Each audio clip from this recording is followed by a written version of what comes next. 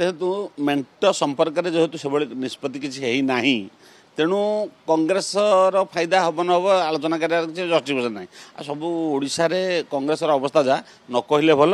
ନଅ ଜଣ ଯେଉଁ ନିର୍ବାଚିତ ପ୍ରତିନିଧି ତାଙ୍କର ବିଧାୟକ ତାଙ୍କୁ ଏକାଠି ରଖିବାରେ ସଫଳ ହେଲାନି କଂଗ୍ରେସ।